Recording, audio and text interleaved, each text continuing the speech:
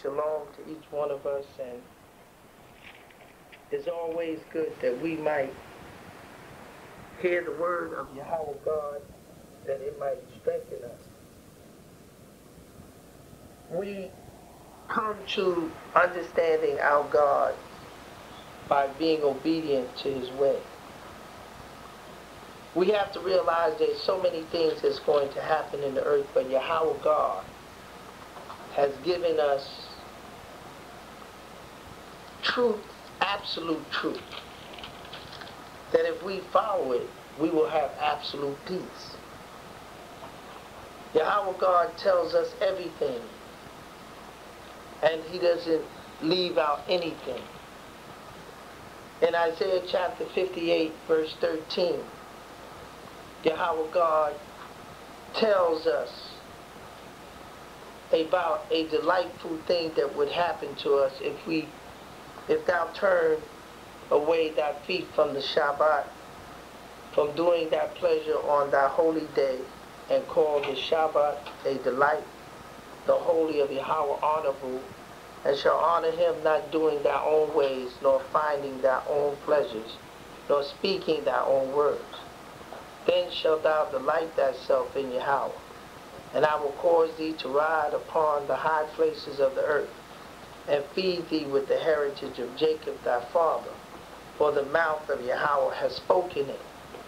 So Yahweh God has told us that in Isaiah 58, starting at verse 13, that the Shabbat is a delight and that is holy unto Yahweh, and that we, those of us that would not seek our own pleasure, as it says here, and shall honor him, not doing thy own ways, nor finding thy own pleasures, nor speaking thy own words. Then thou shalt delight thyself in Yahweh. So when we open up the Torah and the prophecy and the writings, we gain very an access to great and awesome knowledge that Yahweh God has told us. His way is a perfect way, and he wants us to relax. He wants us to know that nothing is going to happen to us if we stay in the confines of what he has prescribed for us for our survival. We have to let loose our fears and have no fears because Yahweh God is with us. If he wants to be rid of us, there's nothing that we can do. But Yahweh God has put forth to the nations and the people such devastating things that will come upon them. And he has told us if we are to be saved, how we can bypass those things that Yahweh God said that if it be possible, if we go to Jeremiah 31, Yahweh God has said things that if it be possible, this is showing the love of your God that he has for you. And that he, he definitely wants to bestow upon you the greatness of his love because he said some great things concerning you. If we go to Jeremiah 31 verse 35, what does he say? Thus saith Yahweh, which, give, which giveth the sun for a light by day, and the ordinance by the, of the moon and of the stars for a light by night, which divideth the sea, which he, which the waves therefore therefore Yahweh of hosts is his name. If, the, if those ordinances depart from before me, saith Yahweh, then the seed of Israel also shall cease from being a nation before me forever. Thus saith Yahweh, if heaven above can be measured, and if the foundation of the earth search, uh, stretched out beneath, I will also cast off all the seed of Israel for all that they have done, saith Yahweh. So Yahweh God said in here that this was never a religion. He said, if, if those ordinances depart from before me, said Yahweh, then the seed of Israel also shall cease from being a nation before me forever. If we go even over to Jeremiah 33.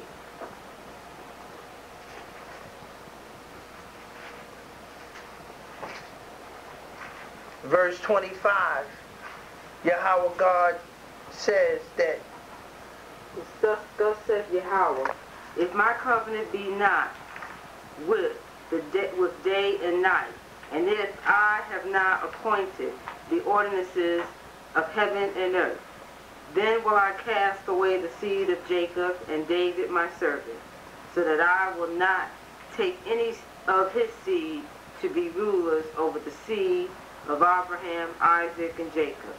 But I will cause their captivity to return and have mercy on them. What did Yahweh said? He said something so beautiful. He says, Thus say Yahweh, if my covenant be not with day and night, if his covenant, if his rulership, and if I have not appointed the ordinance of heaven and earth, he says, if I did not do this, if this was not my doing, therefore, he says, that he said, then I will cast away the seed of Jacob and David my servant. He said, if he did not do this, but also he says here, and he makes a statement here, he says, Thus said Yahweh, which giveth the sun for a light by day, and the ordinance of the moon and of the stars for a light by night, which divide the sea when the waves thereof roar. Yahweh of hosts is his name. If those ordinances depart from before me, said Yahweh, then the seed of Israel also shall cease from being a nation. Thus said Yahweh, if heaven above can be what? Measured, and the foundation of the earth searched out, I will also cast off the seed of Israel for all that they have done, said Yahweh. Yahweh God and then he goes on to say that if he did not, thus say Yahweh, if my covenant be not with day and night, and if I have not appointed the ordinance, if he said, if I didn't do these things, he says, if, if, on the other ones, he says, if the sun for, for light by day and the ordinance of the moon and of the stars for light by night, which divide the sea when the waves thereof roar. Yahweh of hosts is my name. If those ordinances, he said, these ordinances, these rules, if this stuff stops happening, he said, I'll cast them off. I won't have anything to do. If you search, if you can search out and measure, if you can do these things, Yahweh has put it before them. That's how much he cares about us. And he said for all of the things, because people brought up and they told them, man, Israel, look what Israel has done. But Yahweh God has stood for us. He has stood for and gave the nation something. And he said at the end, he said, then will I cast away the seed of Jacob. He said, if I didn't do these things, then will I cast the seed of Jacob away. So what I'm saying to you we must have a great admiration for Yahweh. Because Yahweh God truly loves us. And he wants us to be obedient.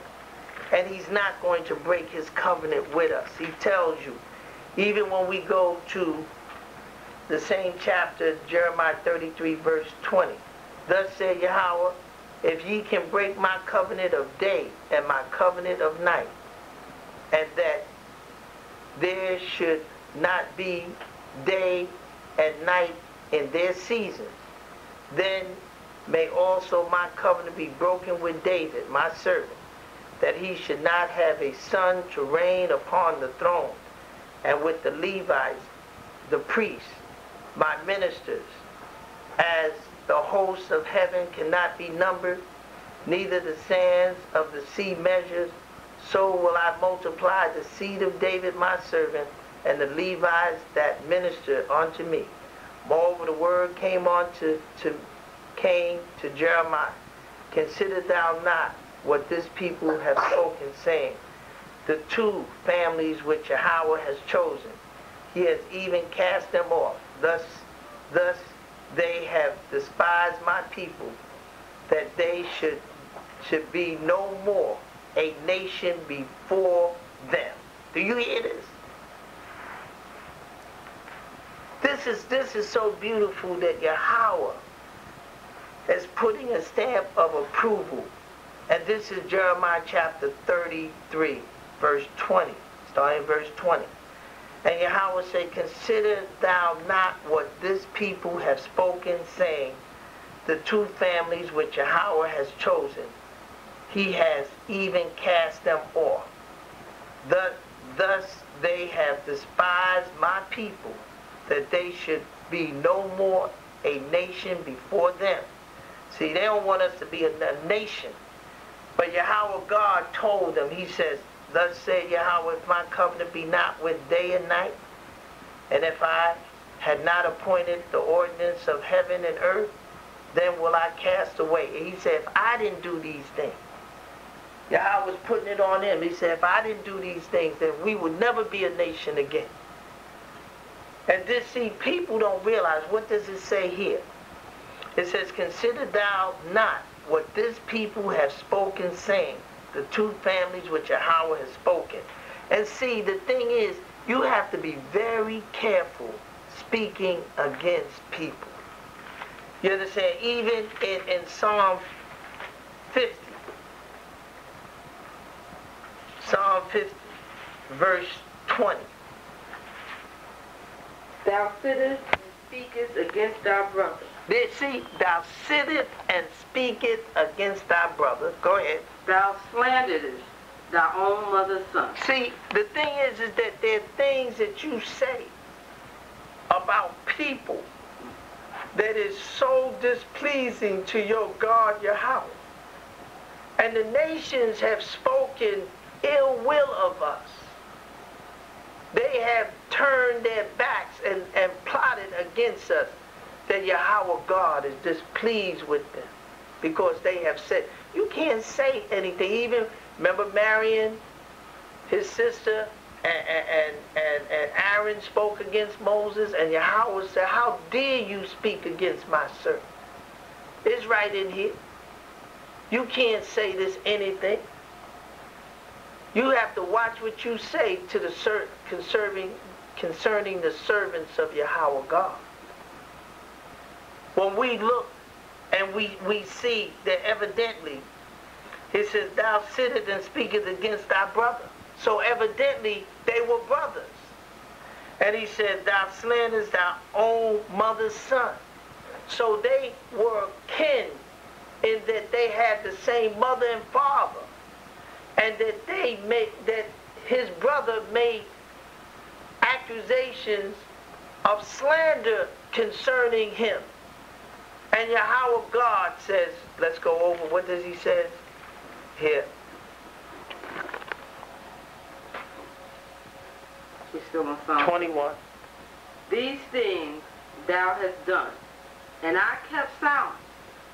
Thou thoughtest that I was altogether such as one as thyself. What he said, these things thou does, and I kept sound. Go ahead. But I will reprove thee and set them in order before thy eyes. That's right. See, so Yahweh God said, because of the slander, and we want these people in America to slander us. We want them to tell lies and propaganda. Let them come on. Let them. Hey, come on. Tell these things that aren't true. Because Yahweh hears it and Yahweh is displeased that you would say something against his servant. We are the servants of Yahweh, and they rise up an evil report against us, telling the, the natives of other lands and bringing up an ill report concerning our conduct and behavior. It ain't nobody that has shown more loyalty to America than this black man. And therefore, they tell that we're lazy, we're thieves, we're murderers. Let them continue. We want to say, come on with it. Don't stop. Come on, put the drugs in our community because Yahweh God sees this and he's displeased and he said, I'm going to raise them up. And Yahweh didn't say he was going to hide us. Let's go to Psalm 23. He didn't say he was going to, I'm going to hide them.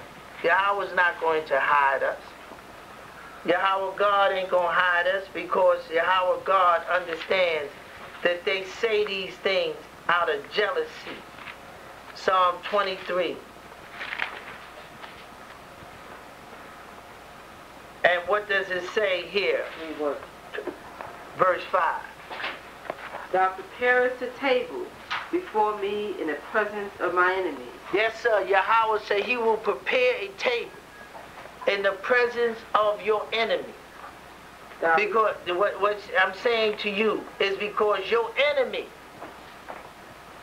Yahweh's not going to hide what he's going to do. He says he's going to raise you up right before them.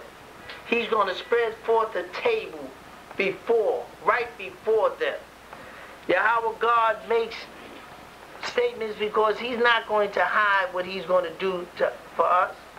He's going to bring destruction upon those that hate us. He's going to raise us up in the house of our enemy. And those that hate us and has prop, put propaganda of our conduct and it isn't true. Yahweh is not going to hide this. And we should be thankful and therefore we should make our conduct acceptable before Yahweh God so that Yahweh God will be able to do as he please because he is a God of righteousness. And therefore, when we go to Joel chapter 3, and he says, right down at verse 7, what does he say? Joel chapter 3, verse 7. Okay, we must, um, behold, I will raise them out of the place where ye have sold them. I will return thy recompense upon your own head. That's what he says.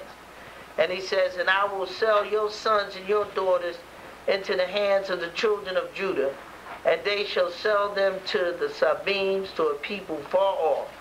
For Yahweh has spoken it. Who has spoken it? Yahweh God has spoken this. There's no one that can do wrong to us and slander us and make ridicule of us and not pay the total price of their measure that will be given to them in punishment. Yahweh is not pleased when you raise up against his people. You understand what I'm saying? That's why Yahweh God said that he what? He said, I love Jacob, but I hate Esau. Because Esau and Jacob being brothers and the brothers and the circumstances by which their brotherhood should have united them. Esau rose up because of the blessing, but the blessing that his father gave was in-house. His brother shared it with him. But it was a perpetual hatred that Esau has for his brother to this very day that he can't let loose. And therefore, where you think you at but in the house of your brother? This is the fulfillment of the blessing to his own children. And therefore, Yahweh God has seen fit that we come, but our brother went and got us. We didn't volunteer to come here. And our brother slays us Nothing was more vicious in American history than lynching in the South. And, and how they continue to lynch us even in New York. Nothing was more hideous that they lashed out at us because we don't fight against white individuals. We fight against a system that we can't win. But Yahweh God he can win because we must remember where we at, our freedom. in this country depends upon we must know where we're at. And I would like to say that when we know where we ha- at, what does it say in Exodus chapter 3? And I would like to bring this to your attention. Exodus chapter 3, verse 7. And Yahweh said, I have surely seen the affliction of my people which are in Egypt. And I have heard their cry by reason of their taskmasters. For I know their sorrows, and I have come down to deliver them out of the hands of the Egyptians, and to bring them out of the land unto a land, unto a good land, and a large, unto a land flowing with milk and honey, unto the place of the Canaanites, the Hivites, the Jebusites, the Perizzites, the Hivites, and the Jebusites. So Yahweh God was going to bring them into a nation. The Canaanites was there, the Hittites, the Amorites, the Perizzites, the Hivites, and the Jebusites. Six nations would be in that land. Yahweh wanted to show Israel, but they were in the land of Egypt. And Yahweh said, I've seen, and Yahweh have heard the affliction of this vicious, how they have sabotaged our image in the world. He's heard it. There's slander. And just like we have to know where we're at, where are we? When we go into Deuteronomy chapter 28, you got to know where you at. And we go to Deuteronomy chapter 28. Once you understand where you at, then you know what to expect. What does it say, Deuteronomy chapter 28, verse 68? What does it say? And Yahweh shall bring thee in Egypt again.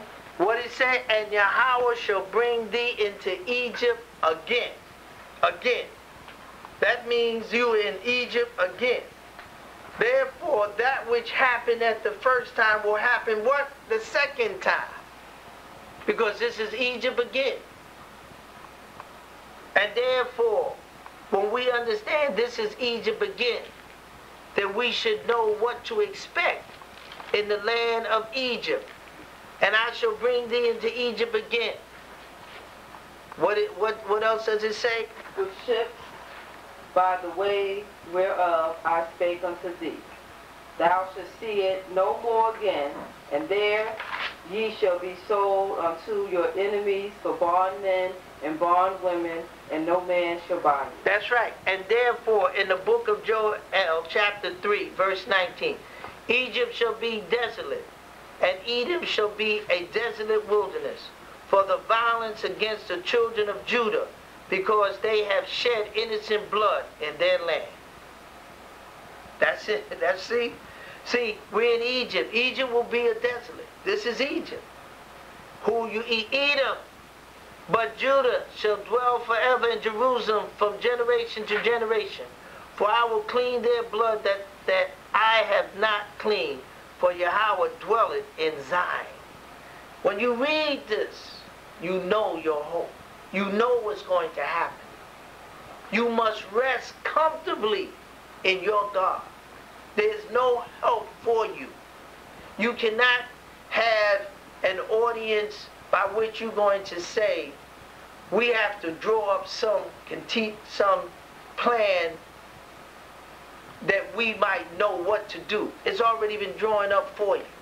What must you do? You must keep the commandments of Yahweh. That's your only hope. Your hope is to do what has been put in writing in this book. There's nothing else for you to do. Yahweh God has put it and told you exactly what you should do for your salvation in this land. And he's given it to you so that you might comfort each other.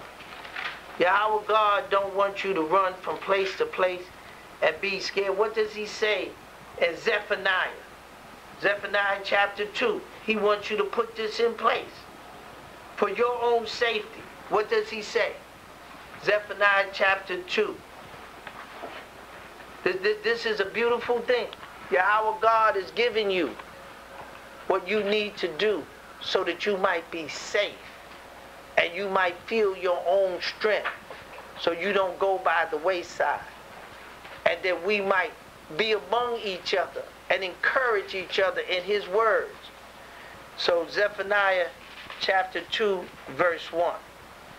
And Yahweh God says some beautiful things. Uh, gather yourself together, ye gather together, O nation, not desired. All not desired, gather yourself together, O nation not desired. That's what it says. What?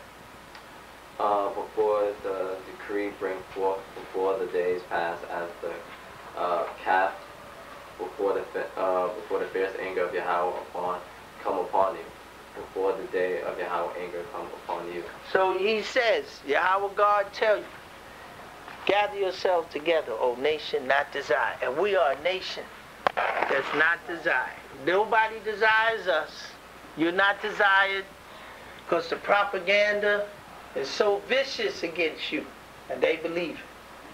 Yahweh God, we thank you for this wonderful and lovely day.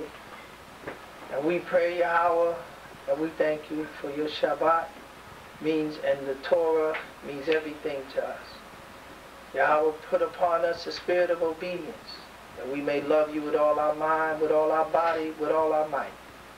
Yahweh Elohayama. Yahweh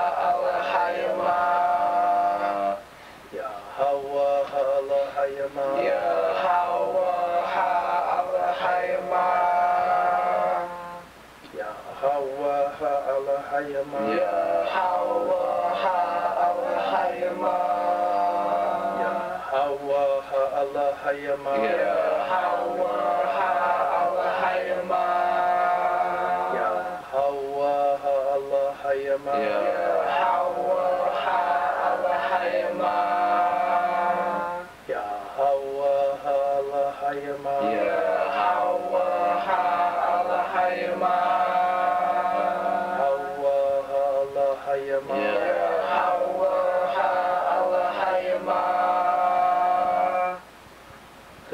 Shabbatah, Shabbatah, Atniga, Atniga, Aparosha, Aparosha, Yahawaha, Yahawaha, Makabata, Makabata. Yagadala, got a lot, allah Yagadala, allah Allahayama, Hanaha, Hanaha, Nalaka, Nalaka, Yahawaha, Yahawaha, Sabayaba, Sabayaba, Layura'a, Yawa, Yawa, Wayaha, Wayaha, Latisma, Latisma. La a a a a na ha La'a, La'anaha, Latista Yakwa, Kaya, shama Shamasha, Mamagana, Yahawaha, Alahayim, Barawaka, Alahayima, Ashura, La'a, Yasayura, Apaladaya, Wakasadawa, Adaya, Amana. Yatisra, Yatisra, Salawaka, Salawaka, Yatisra, Yatisra, Shalawama, Shalawama, Shalawama, Ya, Ya, Ka, Ka, Ata, Aka, Ata, Kawa, Bayahawa, Ataya, Ata, Kaya, Bayaha, Yahawaha, Tiswara, Apwalayama. Kaya, La'a, Khasha, Khasha, Baya Akaba, Baya Wala'a, Wala'a, Wasama, Wasama, Baya Shara, Shara, Allah. Allah. May Yahweh bless each and every one of us. May the Spirit of our God anoint us with the spirit of obedience. May Yahweh, who has been merciful and kind to us, may we acknowledge this by being obedient. May He bless us in our goings and our comings. May He give us clear thought to be obedient. May He take the stone heart from out of us and put the heart of flesh that we may keep the Torah perfectly. Yahweh God, we pray to return back to our land in the time that is, is given in our lifetime. May we see that. Yahweh God, may we love thee with all our mind, with all our body, with all our might. Amanah. Amen.